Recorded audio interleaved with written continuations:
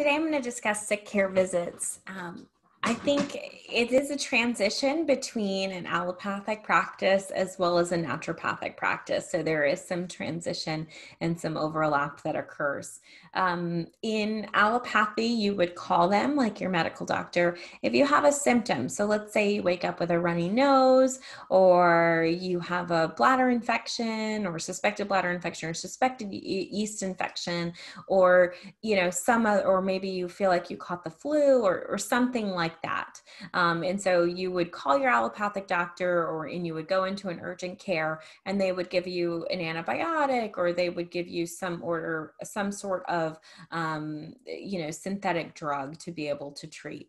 Uh, we have the capability in naturopathy to um, treat various symptoms that are associated with things like bacterial infections, uh, yeast infections, um, cough, cold, flu, which are derived from uh, either viral or bacterial in nature. Um, so even if you go into an urgent care and you have a viral infection, there's really not a whole lot they can do.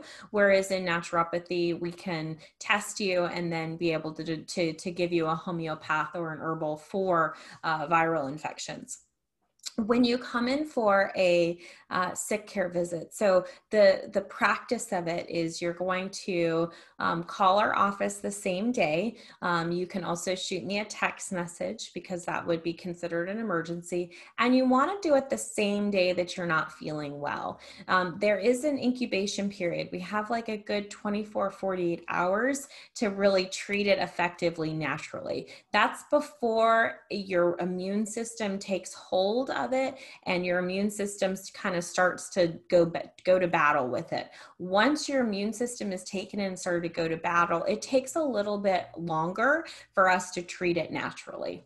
And so the longer you wait the the worse it can get um, and the more aggressive it can can get in terms of treatment. And so really that first 24 48 hours please reach out let us know. Um, we'll mo- mo- more than likely have you come in for a sick visit a lot of times I will ask what you have on hand. Um, if you need like a sick care basket, we do offer those um, for sale in our practice, and that has like all kinds of little, um, you know, home remedies that you can have at home um, that are readily available. Otherwise, if you've been treating with our practice for a while, you'll already kind of have that because you've been in for a few sick care visits, and I'll try to work with what you have um, also too, so you don't have to come in. But in the event that you have to come in, what I'll do is I'll muscle test you. So muscle testing is applied kinesiology. It's a biofrequency tool. I don't use it for chronic things. I only use it for acute. And so I would muscle test the person um, using their arm or their or their parent's arm or something of that regard. And then I would find out through a test of positive or, or negative if you know they have a bacteria a virus a heavy metal chemical sometimes it may not even be um, immunological. Sometimes it can be chemical. Sometimes it can be um, heavy metal in nature. I've seen that that will create cough cold flu symptoms. So we'll look at those things and we'll test it and evaluate it and find out what exactly the cause is and then we'll treat the cause. Instead of just grabbing something off the, the shelf and throwing it at you we want to try to prevent antibiotics antibiotic usage as much as possible and we want to really reserve it for when you actually need it. Also too a lot of times antibiotics they'll just kill all the good bugs and, and, and then you have to rebuild that and there's a lot of complications to it such as yeast infections things like that that are unnecessary.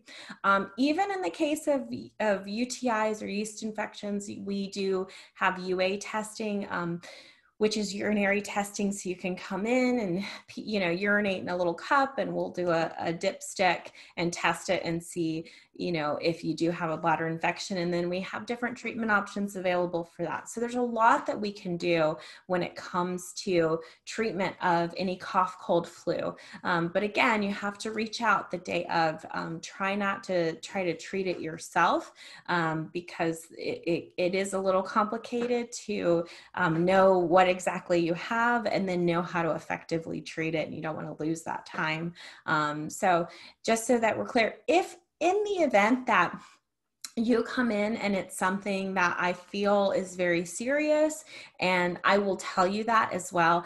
And I will send you to an urgent care or send you to an ER. Um, sometimes it does happen where I go, "Hey, I need you to send send you to urgent care to go get this lanced, or I'll need to send you to the ER to get this workup, or you know, I'll I'll give you specific instructions too." And that's the integrative side of my practice. So I won't just go, "Okay, I don't know, go to the ER." Um, I'll kind of have an idea, but understand understand through scope of practice, I need, um, you know, them to perform the diagnostic to be able to prove or disprove, and then whatever the treatment is going to be on that end. So, um, but we definitely want to prevent those things and also just allow the body to heal naturally. So hopefully that clarifies the care visits um, and all the breadth of things that we can treat uh, naturally.